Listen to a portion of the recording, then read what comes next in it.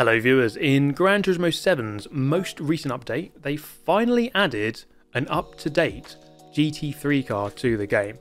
This is the Mercedes AMG GT3 20, and it's always good to see a new car added to Group 3. I thought I'd buy it and give it a go in this week's Daily Race B, which just so happens to be a Group 3 race. So five laps around Kyoto, let's find out if this car is actually any good, or if the BOP has murdered it to death, or if the Toyota Supra is just too OP and is unbeatable anyway. Now, first corner, first things first, go for a nice little overtake here on the Renault. The Mercedes with a fairly good launch initially off the line there, so we're going to gain one position. Now, I hadn't really raced this all week, so jumped on quite late and uh, just trying to get accustomed not only to playing this game again, but also to the car. Um, but that's why we go from the back to make sure we can just um, not not have to think too much about the faster players. And unfortunately here we're going to get caught out in the wrong place at the wrong time. 16th place. To be fair, 16th is never the right place to be. And through this right hand I'm actually going to turn left and put myself in the firing line of this very happy looking photographer. Gets a nice little snapshot of me before I depart the scene. So there we go, Miles in last place. This race pretty much turned into a glorified practice session for me. Just trying to learn the ins and outs of this car and things I was realising it's actually a fairly stable car. There are moments where the gearing wasn't quite right but overall it's it seems to be very drivable, a solid car, just like the 2016 Mercedes AMG that is in the game. Doesn't actually feel completely different, but then again, it is a slightly updated version of the same car. Um, and I had a, a very faint chance here of not finishing last as I was catching up with this Spaniard for P15. Yes, that's right. 15th place. Oh my goodness. Um, but I can regretfully announce, as we head through the final corner, that I was actually going to finish last. Now the fastest lap of this race was a 134.1. I was managing into the 34s, so as we uh, crossed the finish line there, two 134s, a 0.7 and a 0.8. I'm not a million miles away from the fastest lap, I suppose, but there is room for improvement, there's no question about that. So race number two let's try and seek the aforementioned improvement and get a slightly better result than P16. Uh, shouldn't be too hard. Now, uh, bit of a pinch point here on the track through the S's. As you see there, the Porsche falling victim at the top of the hill. And uh, Austrian driving a very wide line there. That's going to hand me already two positions, up into 13th. Heading down the hill, I felt like, you know what, this guy's right behind. I'm gonna, I'm gonna go defensive, just to really cement my position here. Make sure we don't lose it. Through this triple chicane, this triple chicane, it really is crucial to your lap time and generally to your success around this track. And you'll see later on in this video how much you have to abuse that thing to really extract maximum lap time. Now, a bit of contact between the BMW and the Supra just in front can I capitalise on that? Not quite. Not quite close enough here to take advantage. Coming down the hill though, Belgian kind of forgets to turn left on a left-hander and says hi to Barrier and to last place. I think it goes down to last place. But uh, either way, it's not really my problem anymore. I am now fully involved with this BMW, trying to sort out an overtaking opportunity, not quite close enough into turn one, lap number two, Going to try and square off the corner, get a good exit, and perhaps engineer a move into the long left at the top of the hill. So these S's uh, quite tricky to take even when you're on your own, but when you're right behind another car, bit of aero wash and lack of visibility can hinder your performance, but we've engineered an opening here with a slight dummy to the right, and he opened up the space on the left, and boom, that is P11. Thank you very much. So let's uh, head through the chicane. Once I've got through here cleanly, I should be able to fully cement this position of P11. And now try to turn my attention on gaining to the cars in front. There was a car off on the right hand side there, so I went up into P10. and through lap 3 gaining slowly but surely on this almighty gaggle of 5 cars which I now join to make a 6. Now the two Supras just in front here, gonna have a nice bit of argy-bargy. One goes wide and then unceremoniously rejoins. What a glorious moment of contact between the two of them. And I'm going to say thank you very much and move up into 8th place right up behind the Spaniard in the BMW. And uh, getting good exits here, just not quite able to capitalise. There is someone there spinning. That is Bob's your uncle underscore GT. Uh, recovering from some sort of altercation or a spin, whatever it was, don't know. Nor do I care, because we're trying to battle for P6, the coveted most important position in any race, P6. Now, not a very good line here, a little bit too wide, and that's something you'll learn from these long left-handers. You do really want to minimise the distance travelled through those long lefts. You go too wide, it really does kill your lap time, your momentum, everything. Everything in your life will fall apart if you take those corners wrong. Trust me, I've been there. And again here, look, just uh, really getting two wheels onto those curbs, both of us taking that nice late apex to get a good drive off the corner, but perhaps actually a little bit too wide on the exit. But we both copied each other there, and so it's uh, kind of as you were. Now he's going to make a bit of a mistake here. Carried a bit too much speed on the grass. Very easy to do that. And to really maximise speed through that chicane, you have to run the grass. It's kind of silly, but that's just how it is. And that is going to unstable your car make your car unstable, should I say. And um, that put me up into P6. Now, I was hoping to try to gain on P5, but uh, wasn't quite able to do it. The GTR in front actually quite quick. And um, I therefore had to turn this into a defensive race, trying to protect P6. That's the best I could do. So the BMW behind, uh, behind this the Spaniard doing quite well. Stick with me not really give me any rest through to the end of the race. My lap times weren't the best on this one, but this, this race involved a lot more fighting and uh, more overtaking and less clean air. And so, um, with slower lap times but a better result, I was fairly happy. This race was pretty good overall, I would say. From 15th up to 6th and there it is confirmation that this is indeed Super GT. I decided to update the livery on the car, which is always important, to whip on this lovely Bilstein livery and uh, hopefully do them very proud. Now, the fastest lap in the world was a 132.1 with the Supra. The fastest done by the Mercedes was a 133.1, one second slower. And let's take a look at the fastest uh, lap time in the world, see what we can learn. So the Mercedes one second slower on the leaderboard, that doesn't necessarily mean it is one second slower. It just means someone, I mean, it's not a fair test because it's not the same driver. But it does show you that the Supra is definitely quicker, unquestionably quicker. Um, but we can learn a thing or two about the lines you can take, especially through the chicane, as I uh, briefly touched upon a couple of times. And you can see here the utter filth on show. It is just how the game is, unfortunately. But look at this. Keeping a couple of pixels on the curb, but the rest of the car can be on the grass. Not once, but twice. And that's how you carry the most amount of speed through there. And you can honestly gain like half a second by doing that compared to just taking it normally. Uh, let's say with all four wheels uh, not on the grass. But there you go. Now, now it was my turn to try to replicate such an egregious act. And it was actually really not as easy as it looks. And this is the you know, this is the thing with the number one replays. They always make it look easy, but when you try it, it's never quite the same. And well, I was just trying to get comfortable with what it felt like to run the grass. Eventually getting my lap down, uh, lap time down to 134.1, and just learning, you know, against the ghost. That's my own ghost just where I can carry a bit more speed.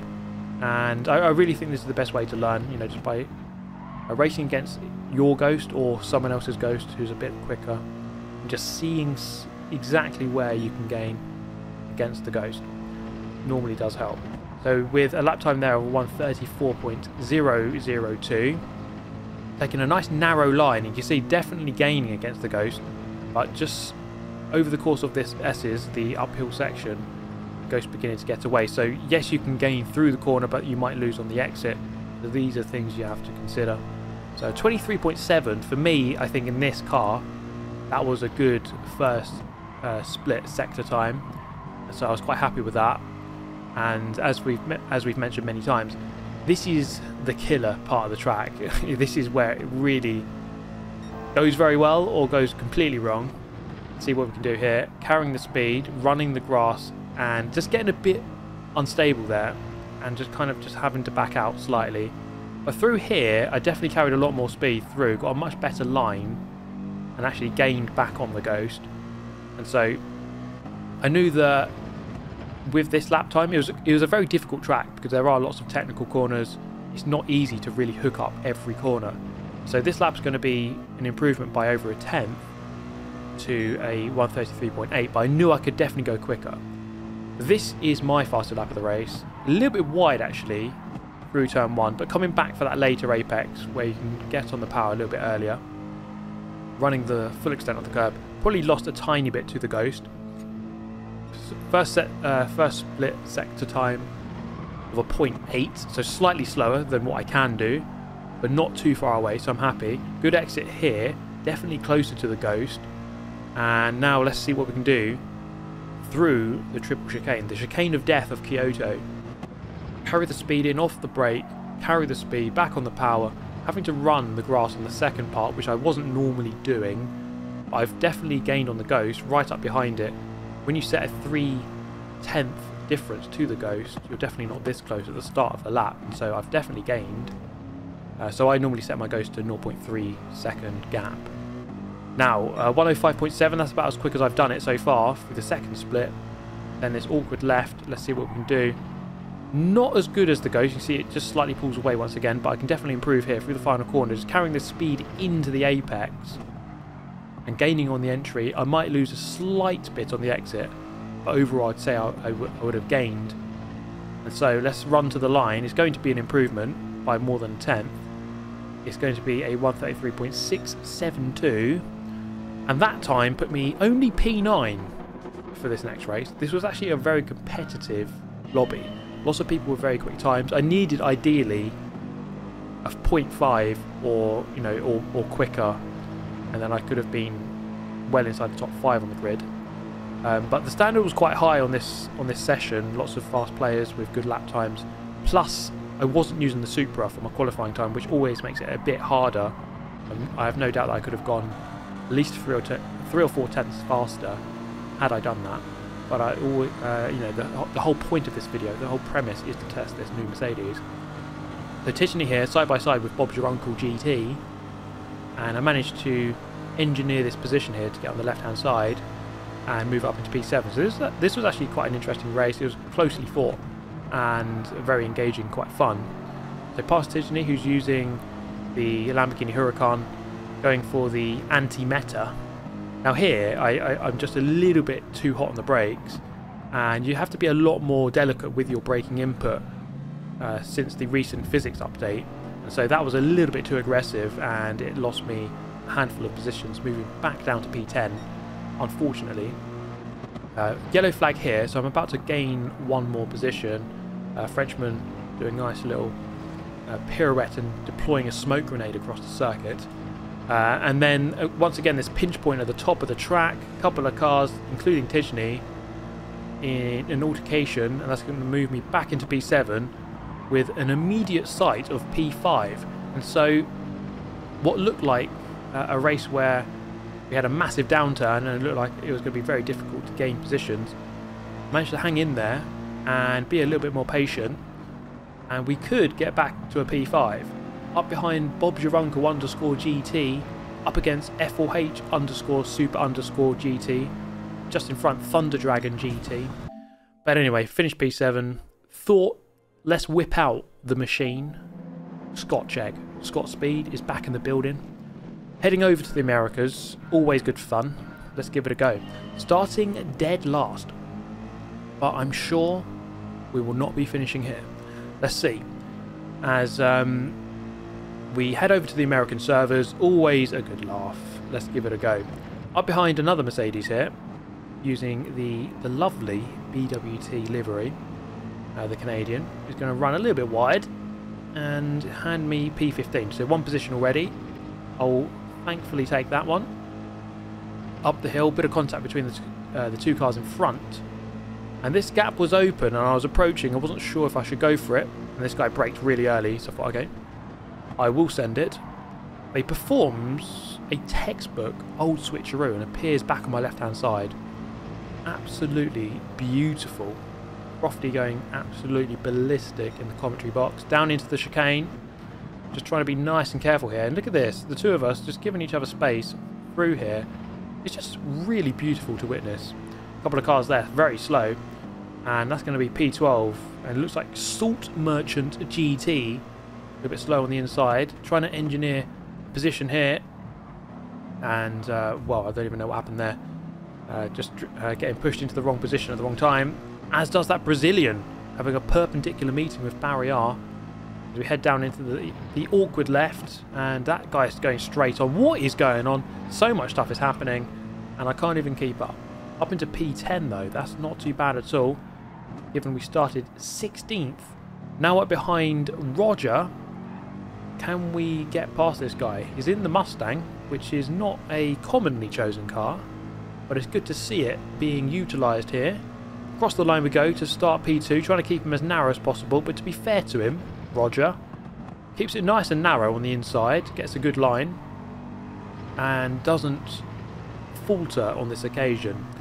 So it took me an entire lap until this moment to really stand a chance of trying to get past this guy. He went in way too hot into the final corner, lap number two. And that's going to be uh, going to be me up to P9. Now, catching up with this uh, group in front, went in way too hot here, almost into the back of the Supra. Salt Merchant GT getting all out of hand on the curb and going to lose control and a handful of positions behind Manimal now, looking up the inside. Not always the best place to go for a move, but I'm Scott Speed on this occasion, and so any place is a good is a good place for him. That's going to be seventh place with 1.3 seconds to P6. Make that 0.6 as we head into lap number four. Two laps left to go, and P6 looks a somewhat realistic prospect here, especially as he's drifted wide onto the grass very easy to do that. As we head up the hill into the slipstream now, the Mercedes is actually pretty good in the tow. And we're going to look for this move on the left hand side. There it is. He doesn't turn in and boom. Make sure we don't run too wide. Prevent the old switcheroo. That's exactly what's happened. 2.3 seconds to the group in front, but by the uh, start here of lap number 5, the final lap of the race, I was definitely in with the shout of gaining a few positions. Now this moment here kind of really screwed me up as I went into the back of this guy and that was really bad timing as you know I had some good momentum there and it really slowed me down but we get the move done.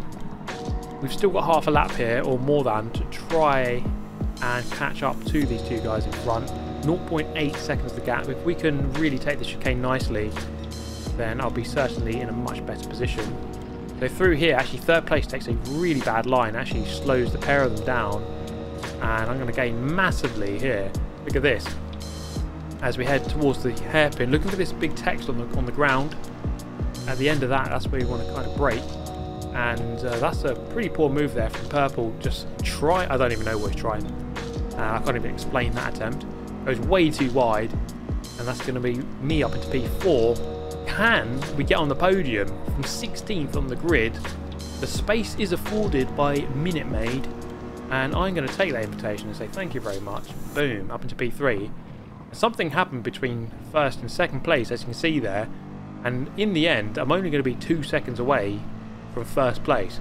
But Scott Speed doing the business once again, setting the faster lap of the race, and coming through for a beautiful podium. Thank you so much for watching. Please do check out my merch, which is coming up very soon. Link in the description and on the screen. I shall see you next time. Goodbye.